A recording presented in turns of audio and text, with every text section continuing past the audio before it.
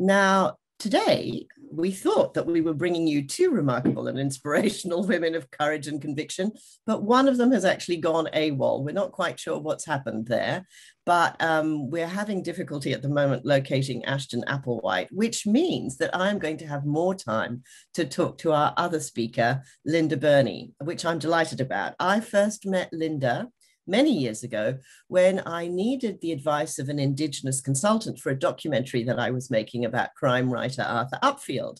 And I was very lucky when Linda said yes and navigated me through the protocol and sensitivities of using archival material. So it's lovely to see you again, Linda.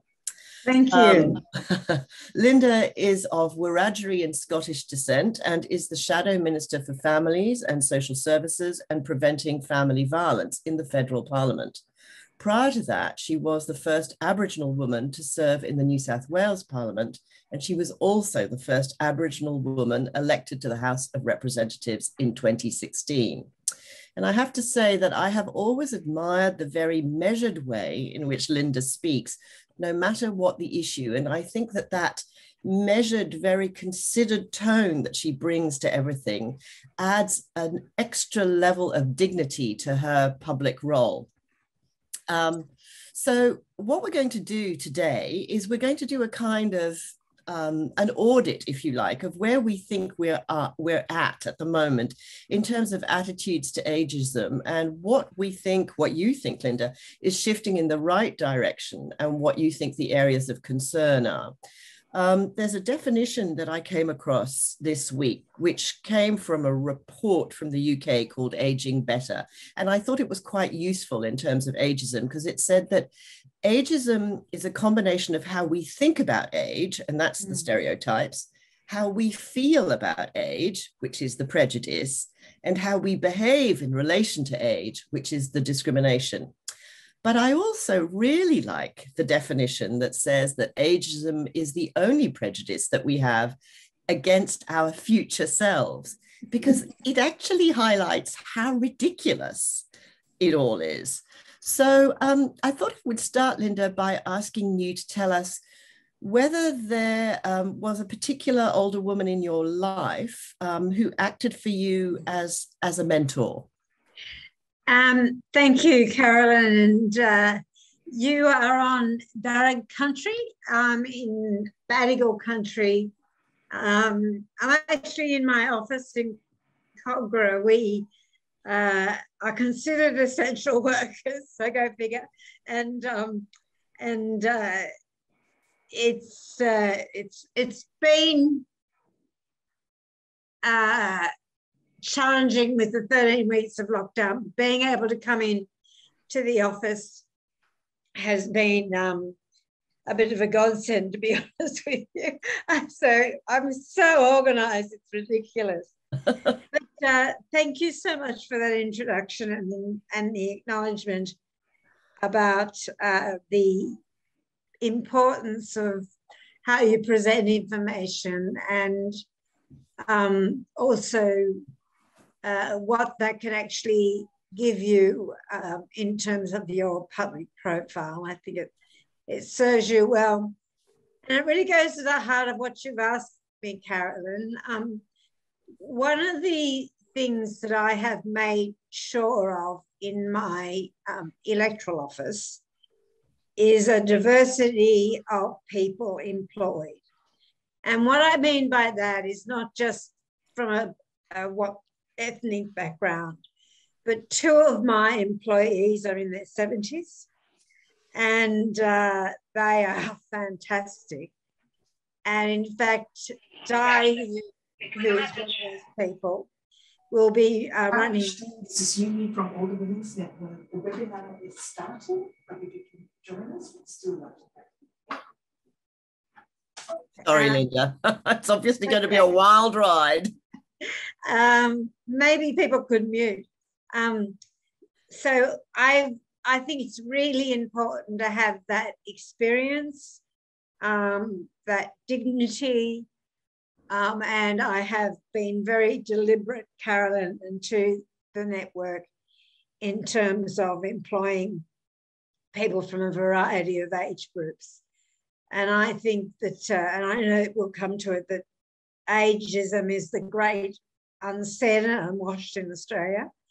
Um, and what's really interesting, and you know this, uh, is that in the in the Aboriginal world, uh, it is getting older and more mature is a great positive.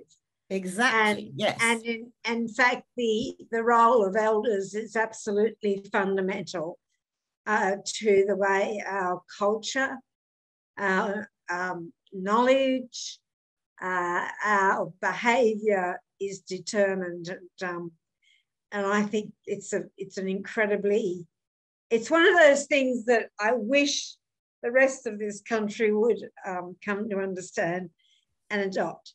And to go directly to your question, was there someone in my life? Well, there was, of course.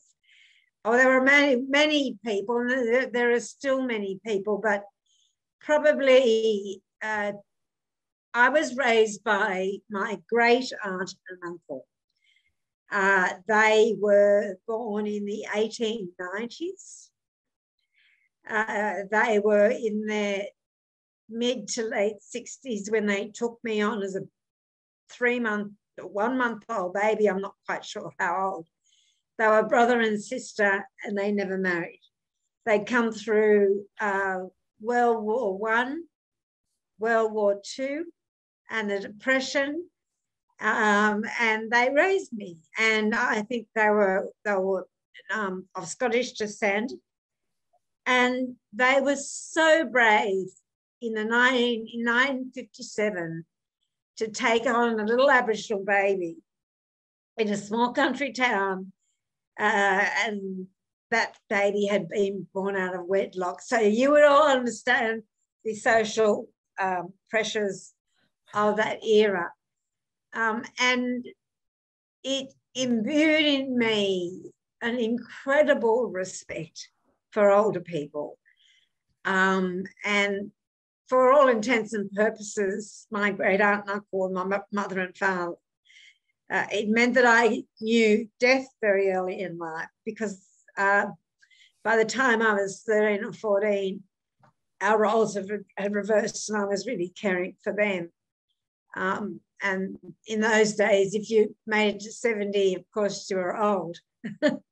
uh, very. Well, I want. I want to come to that in a moment. Um, yeah, but yeah, I, and her name was Letitia Maud Lang, and uh, she uh, I called her Nina.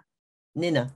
Hmm. Well, I'm so glad that I asked you about her and, and we honor her memory today. But I also want to drill down, you know, this is an opportunity and a real privilege, Linda, to drill down with you a little bit into the meaning of that word elder that you referred to just now. It is so crucial and central to the Aboriginal culture. And as you say, we would do well to learn from that and to adopt um, those values into uh, our cu- culture as Australians. But I want to ask you whether you've seen anything change around that notion of elder uh, within communities that you know and visit. And also, I wanted to ask you how you achieve the status of elder. How do you get um, um, sort of do, how do you get the title of elder and the same thing about the word auntie who gets to be an auntie everyone in fact it's really interesting carolyn because i've i've um, i'm 65 next birthday and so i'm suddenly being called auntie which i'm a little disturbed about sometimes but it's it's really a sign of respect um, and it applies to both Aboriginal and non-Aboriginal people. But my, for example, my surviving child, Willow, um, she uh, automatically calls people who are older than, who, you know, who are uh, in their 50s and 60s, auntie and uncle. It's a, it's a respectful a very respectful sign. And it's also something that you see in a lot of other cultures as well. Uh, your question about how do you achieve eldership? Well, it's a bit magic. Um, it's it, uh, there. There would have been rites of passage uh, in traditional culture and where that's survived, I'm sure that's the case. But it comes in a very organic way. Um, it, it, it comes when you have displayed to your community a level of maturity, uh, that you're ready for it, um, and that you're ready in terms of the responsibilities it brings. It's not just about a title, it's actually comes with a whole set of responsibilities your responsibilities to the broader community, responsibilities in terms of carrying that title, how you conduct yourself, uh, how you project yourself, um, and also a very high expectation about provision of leadership within the community. Right. So it's not something that one assumes lightly. And just to the second part of that question, Linda, have you seen any kind of erosion of respect for elders within the community, or is that absolutely solid? And how? Why? um, the answer to your question is no, that I have not seen that.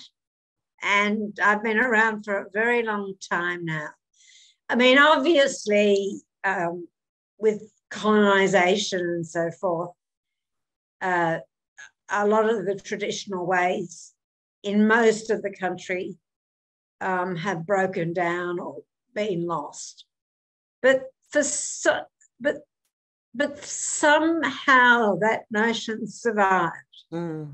through all of the crap that's been thrown at Aboriginal people, through all of the challenges, through all of the dreadful government policies, it's uh, it's probably the one thing that has absolutely survived.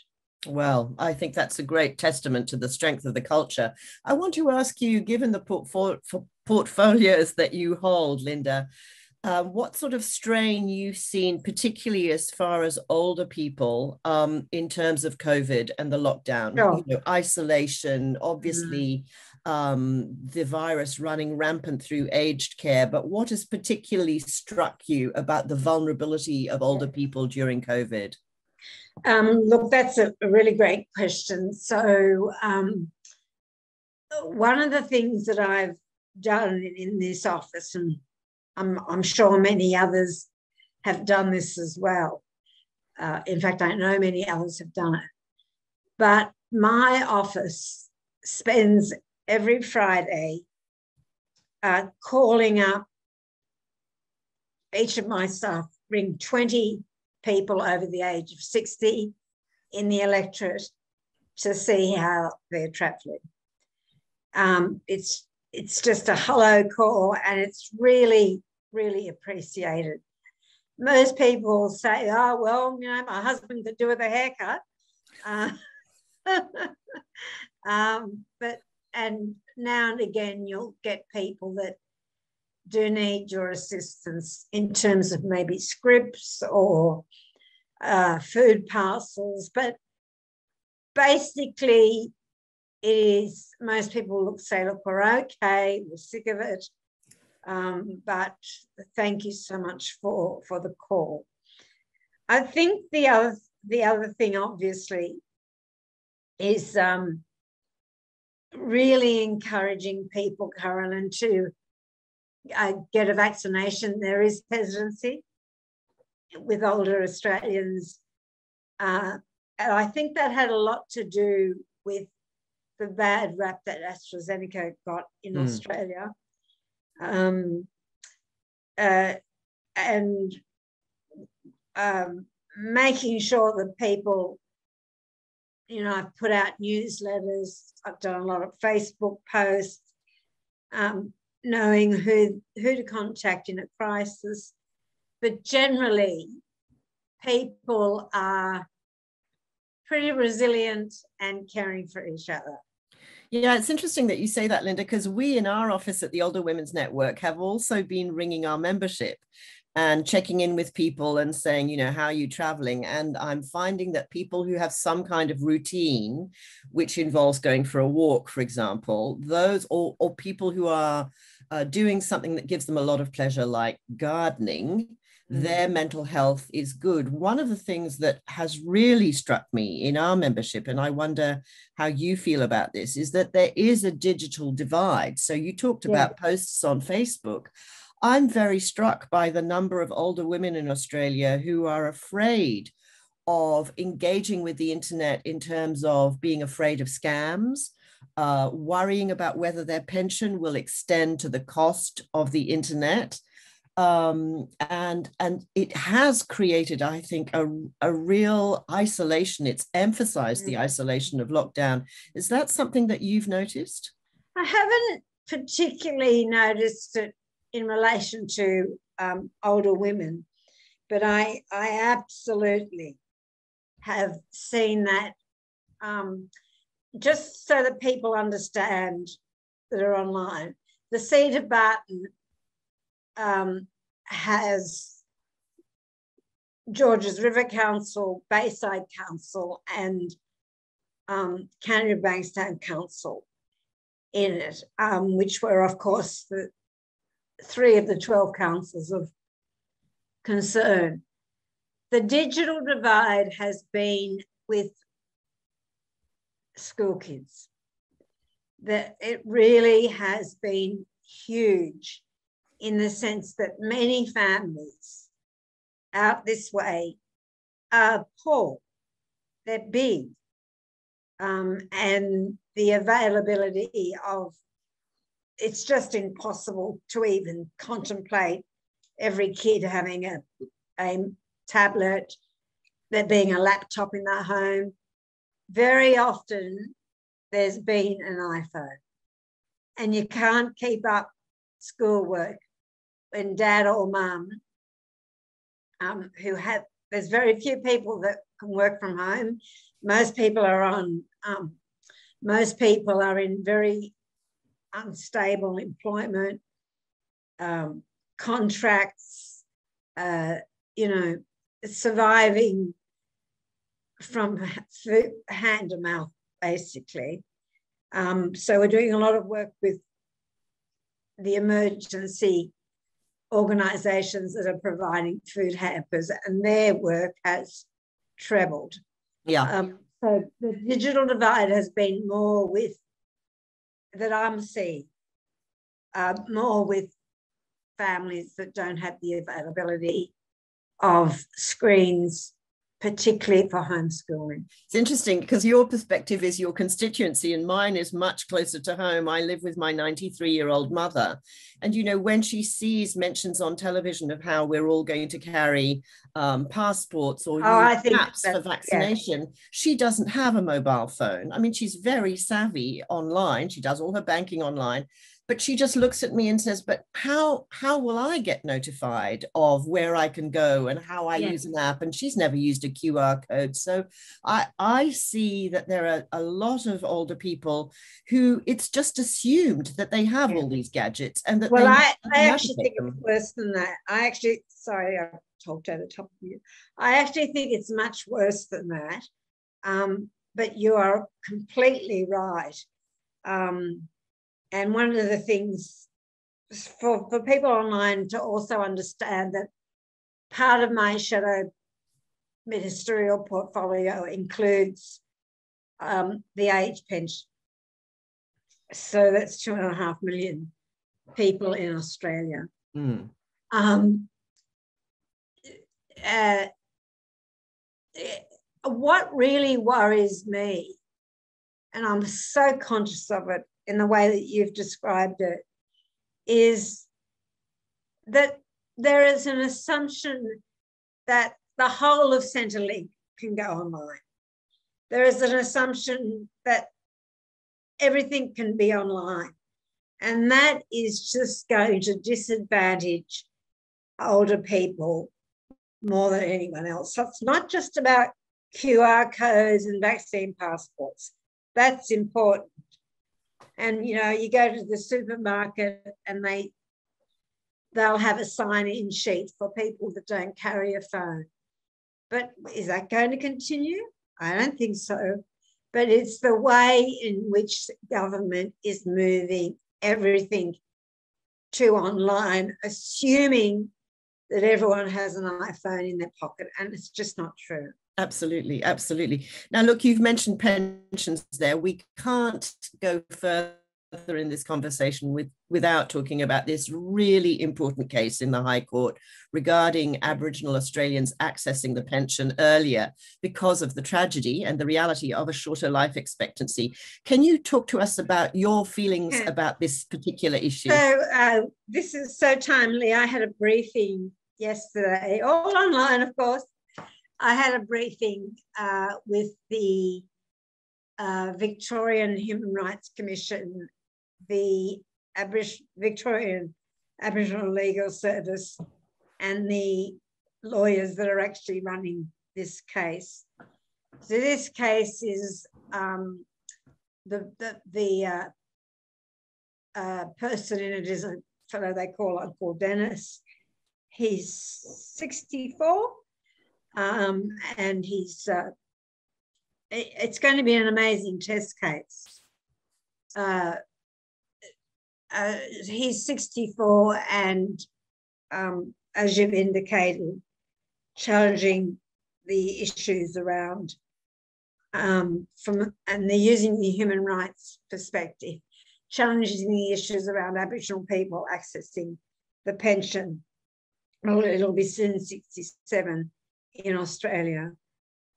Um, if the Prime Minister had his way, it would have been 70, but we are able to block that. Uh, I just see the age pension just being eroded or attempting to be eroded. And if there's any budget that tried to do that, we're able to block all the measures. Um, was the Abbott Hockey budget in 14, 14 15, was it? I think so, so 2014, yes. So long ago, but it's still being felt, particularly around the age pension.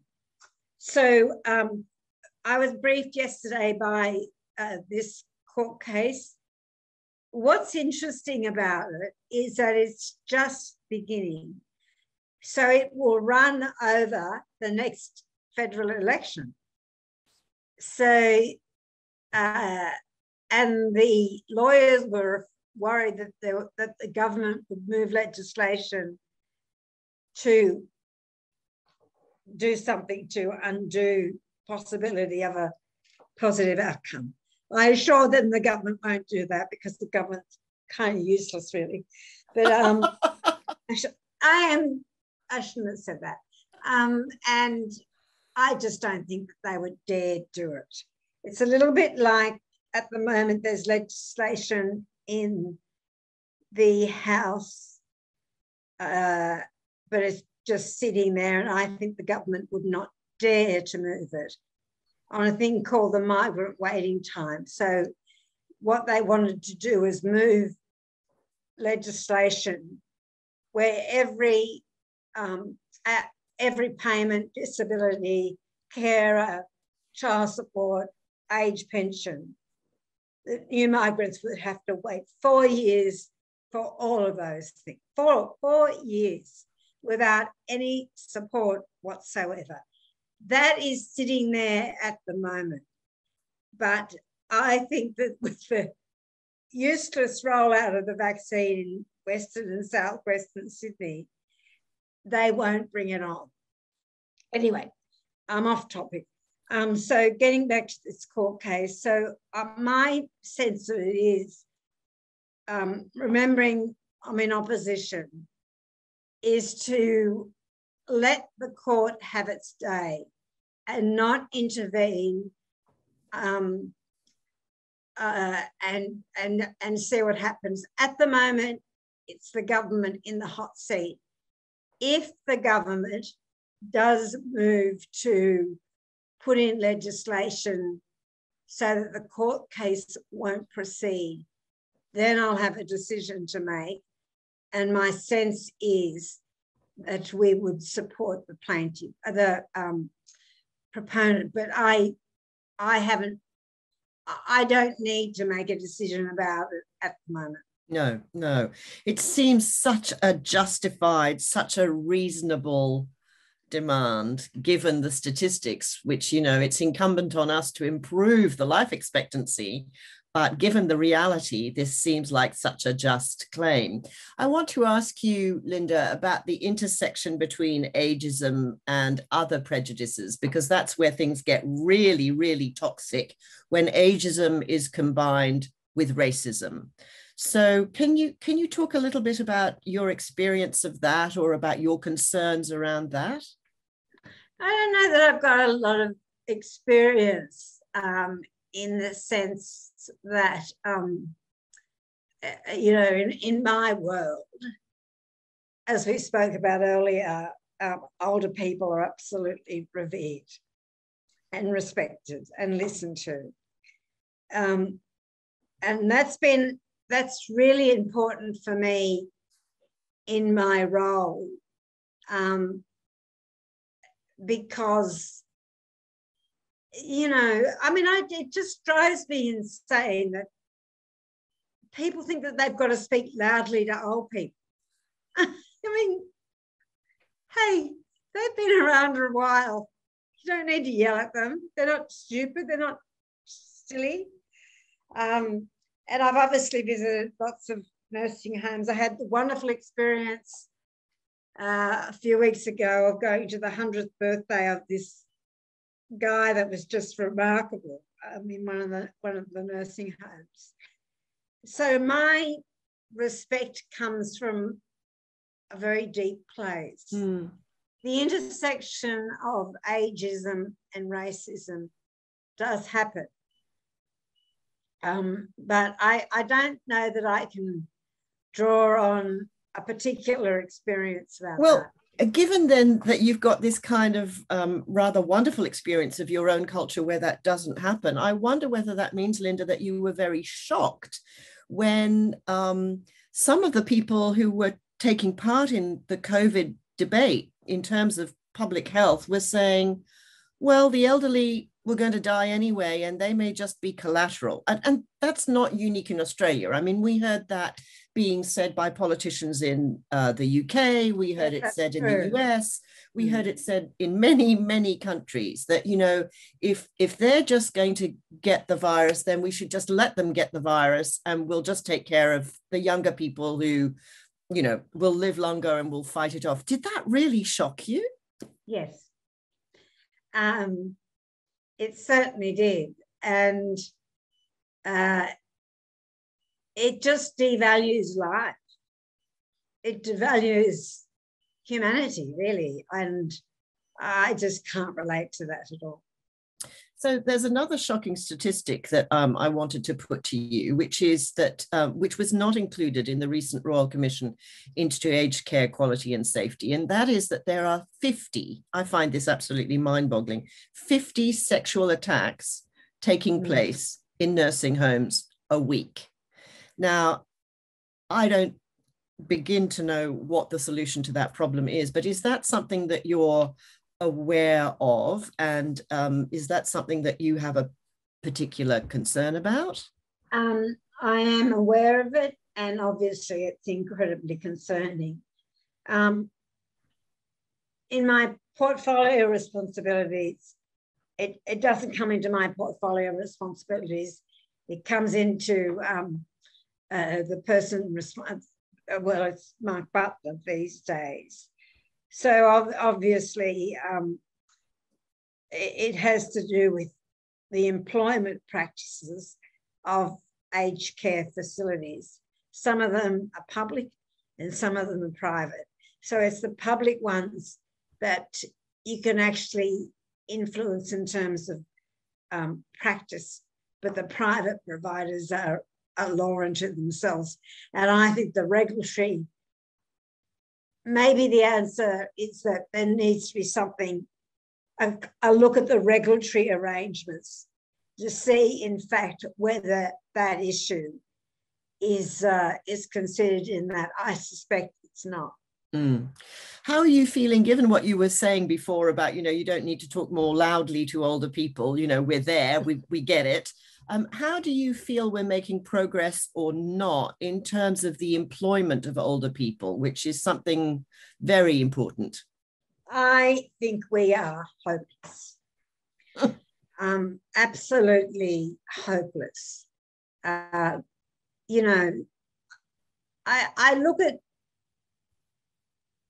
say, for example, I look at um, the uh, people employed in, in parliamentary offices. I mean, so many of them would have so little life experience, and yet they're advising on things like the issues you're talking about, which is one of the reasons I do what I do. Um, so it just seems to me that that Australia really needs to rethink from every aspect about um, older Australians.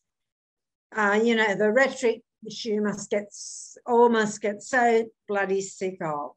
Oh, the, the wisdom, our knowledge and blah, blah, blah. Well, do something about it. Show people that that, what you, that is what you mean. And, you know, when you look at the public sector, um, the younger the better. And I, I just personally, I don't understand that. But it is, a, I think the, the broader issue that you're raising is it is a serious problem in Australia.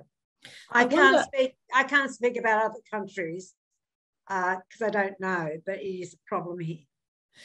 Well, I think it is a problem that's widespread, but other countries are being more progressive about the way that they address it. I mean, there has been some shift in attitude, apparently, towards um, I think an increase in in numbers of people who think that um, that um, older people should be retained and that they can uh, learn new working methods and that 55 is not old in the workplace, but 61 apparently is. So I wanted to ask you about that in relation to your uh, workplace in Canberra. So according to statistics, the average age of parliamentarians in Canberra is 51. So, what is your experience of working in politics as a woman who is older than 51? Um, do you sense that um, that that's a disadvantage? No, not at all. Um, that's a fantastic question. Um, personally, I don't find it as a disadvantage. I actually find it as an advantage. I'm probably one of the oldest people in the parliament. Um, I have some colleagues that are in their early 70s. Um, but, and I took a very deliberate decision not to go into parliament early, when I was young. I could have, but I, I, I was 45 when I first stood for office. Um, and, you know, my, my, my, kids were a bit older. Um, it suited, suited, suited me.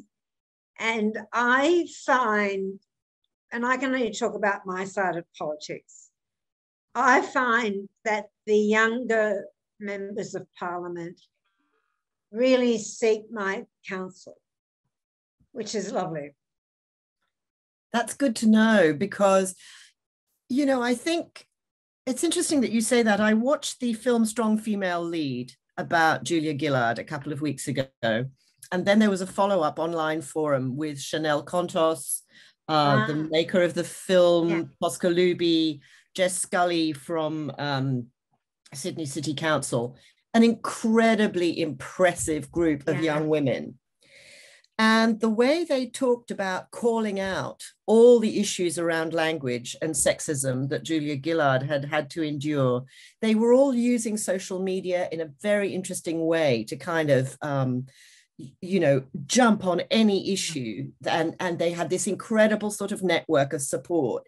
But i did feel um, listening to their conversation which was really bracing and intoxicating and very uplifting that there was a sort of loss of memory that there were older women in the shadows and on the sidelines who were just waiting to be their mentors and waiting to be part of the same army. Now when we saw the march for justice in Canberra and everywhere else, we saw an incredible melding of generations. Everybody yes. came together. Every color, every age was all together in that in that march. But do you feel that there is a kind of divide between the younger generation who don't necessarily always call on women like you for advice? They're just reinventing the wheel because they've got new tools. Um, I've not thought about it like that, but I, I think you're probably probably right. Um, I can only draw on my own experience with my own staff, where I, I found quite annoying, quite frankly, that you sit down to have some food and the younger people, not the older people, but the younger staff members would have their bloody phones out during lunch. And I just said one day, I don't let my kids do it, and you're not doing it. If you can't wow. sit here for 20 minutes and eat a sandwich or share a curry or whatever without checking your phone, get out. now, I'm going to ask you a very personal question. We've been spending what about 40 minutes together. It's pretty cheeky of me to ask you this. So you can just tell me to go jump if you don't want to answer it. But the big difference between you and I today um, is the color of my hair and the color of your hair. Anna, um, this is a bottle. Yeah, well, that's what I'm coming to. So just hang on while I tell you what I want to ask you about. The global hair color market is worth about 3 billion, 30 billion, sorry, 30 billion dollars US. That's a lot of hair color. And most of it is going to covering up gray hair. And I'm wondering whether you think that going grey is a political act and why so many women who are still in the workforce and prominent, like you are, Linda, still colour their hair. Fantastic. Um, okay, I will answer that question, and uh, I'm getting a bit of blush. So my friend Juanita has gone grey and she's a little bit younger than me and she just looks amazing. Um, I don't think it's so much about going grey for me. It's a bloody process. It just it takes so long. At one stage, I started on the lightning, you know, but I have this thing about my hair uh, that I have this reoccurring nightmare about twice a year that some of my I get my hair cut that I wake up crying. So, uh, and I am, I do color my hair. I've got very, very gray hair. I don't think it's all over, but it's certainly around the front. And I've today the reason it looks okay is because I've had some crayon thing out to coloring it. So um, uh, I see my hair as part of my identity and it's long black hair. It's very long, everyone. It is very long. It's beautiful hair, but I'm I'm interested in this because I do meet women. I'm I met a very high profile, very prominent woman. I'm not going to name her, at a function and she said, "Oh, I love your hair." And I said, "When are you going to when are you going to take the plunge and do it?" And she said, "I don't dare." And I thought, what is it about gray hair that women are afraid of? It seems to me, having gone gray quite early on, that it is interpreted as a sign that you are giving up. You are giving up power. You are giving up your um, your place you are you are saying i am willing now to um, step back and become invisible go on just yeah, look past I, me I, I really haven't thought about it. Um, I, I think, well, what I've thought about, if I wanted to go grey, I'd have to get my hair cut really short. And I think that's more the issue than going grey for me. Okay. Okay. Well, look, thank you. Thank you for answering the question. I'm just going to go to a couple. You, of... I'd say. I'm going to go to a couple of the comments that we're getting in Not the everyone's. Well, can I also say that yeah. some people like me, grey is salt and pepper, so it's not this beautiful, soft grey all over. That's different. Okay, okay. We're getting a lot of comments about this. I have to say that whenever I've uh, written pieces about grey hair, they get an incredible volume of response. And similarly here, we're getting an extraordinary volume of respondents uh, from people saying, should we be having a discussion about this at all? Isn't that ageism? But that's the point. That is the point, that there is incredible judgment still, I think, around women's appearance in public well, life. I think that that and for the people writing in, think about this. Blokes with grey hair are not judged. No. It is seen as a very positive thing.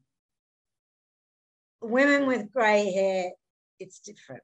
Absolutely. And I think one of the things that came out in the documentary about Julia Gillard was that, you know, a lot of the language focused on judgment of her appearance. Yeah. Um, and it was toxic. It was absolutely toxic. It is naive to think that we do not live in a culture where image and representation are not a very powerful oh, part of how you come across. You know, I mean, you know that, you understand that.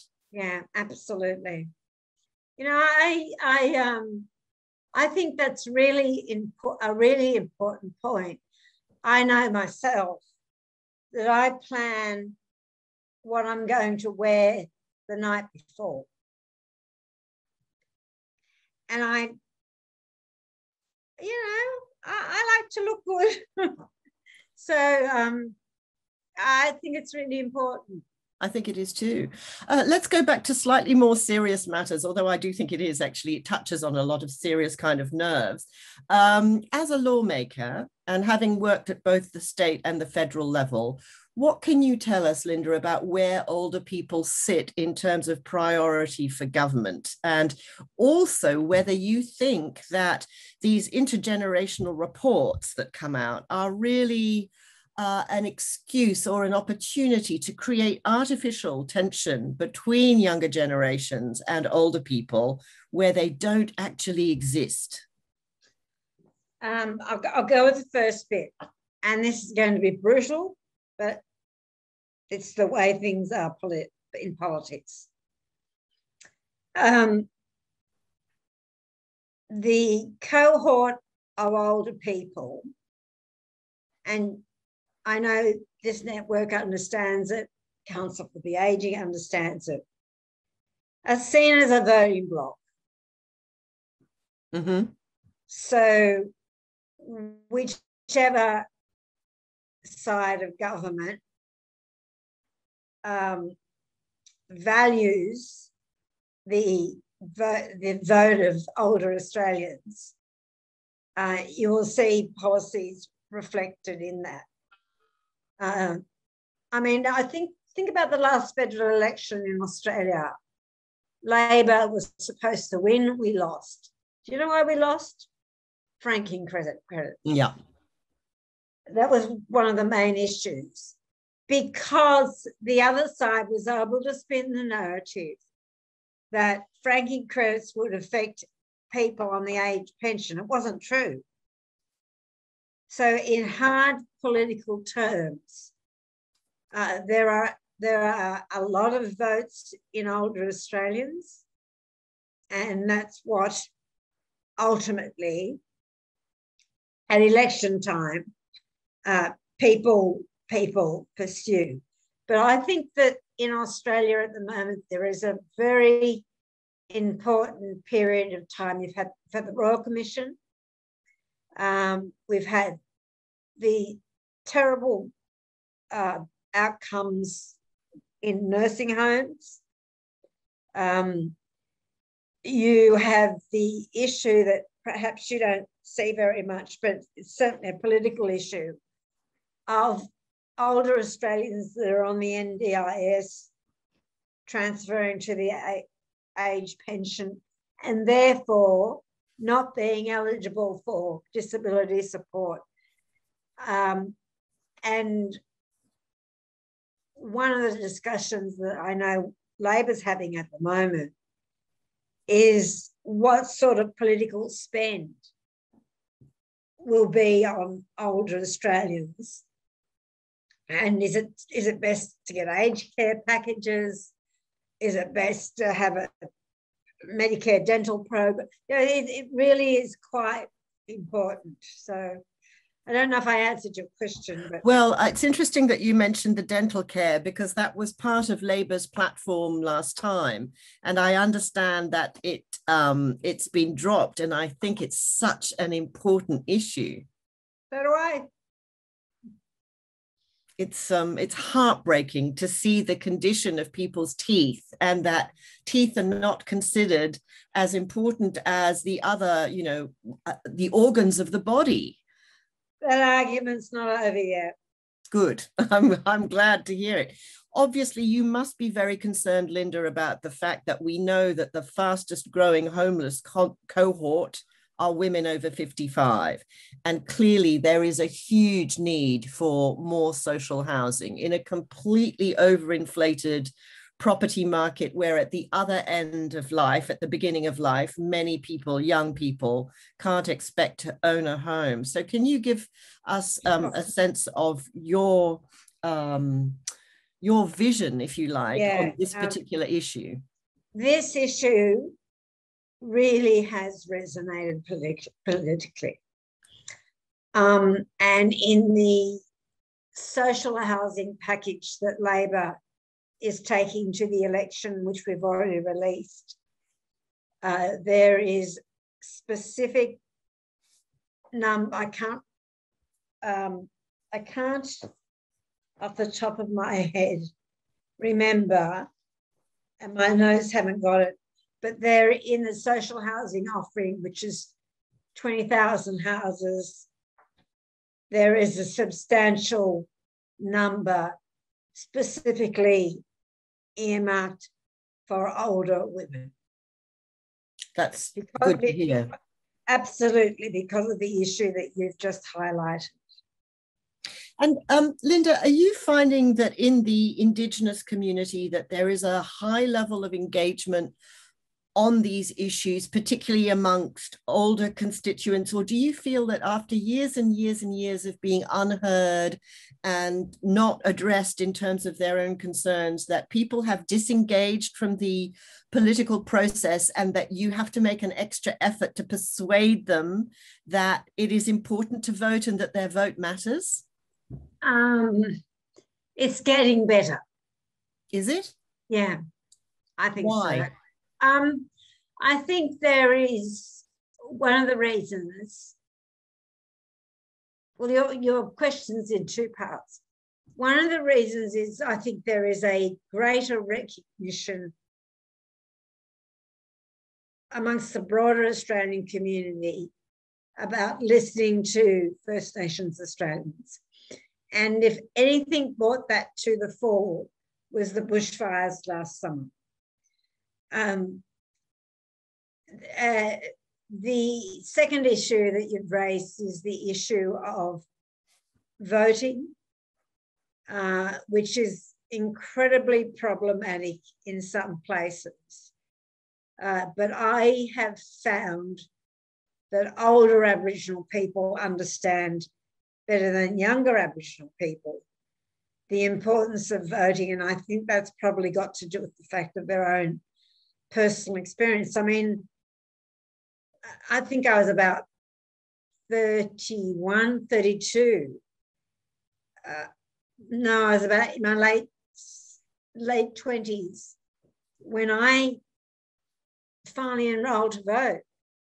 Because prior to 84 or 88 or whatever it was, uh, Aboriginal people federally didn't have to vote. And I thought, well, stuff you. If you don't want my vote, you're not getting it. And I realized it was me that had the problem. so I changed.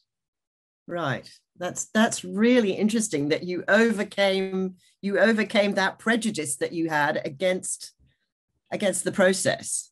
Yeah. I did. Okay. Um, we're just about out of time. I'm just looking at the comments that we're getting here. We've got um, someone, Catherine Branwell, is asking Are elders able to be any age group, presuming they've shown maturity and leadership? Or what's the what's the starting point for eldership? There, there's no starting point, but it's it's older people. It's not it's not someone in their 30s or 40s. It's yeah, it's someone in their late 60s, 70s, 80s Okay, so that's that's already quite sort of advanced. You know, membership to the Older Women's Network is open to you from 55. Yeah. How do you feel about the use of um, the term elder in non-Indigenous context? Do you? I mean, is that something that you allow us to appropriate or that you think to yourself, hang on, that's our term? No, use it. That's good to know. Okay, we've got a comment here from Richard Cody who says, I've lived in Redfern for over 20 years and get uncle, get called uncle by younger people who are Aboriginal. There's no ageism there, just respect. That's interesting. Lovely. So again, that term auntie and uncle, that would cross over.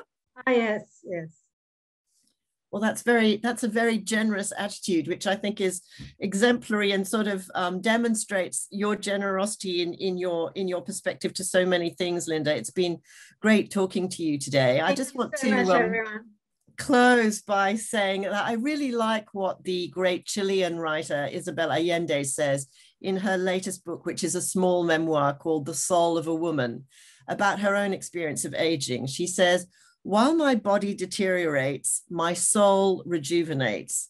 I have become less angry. My character has softened a little. I do not fear my vulnerability because I no longer confuse it with weakness. I am in a splendid moment of my destiny. And she goes on to recommend lowering one's expectations, giving up resentment, and no longer faking it or lamenting the silly stuff. She says, We have to love ourselves a lot and love others without calculating how much we are loved in return.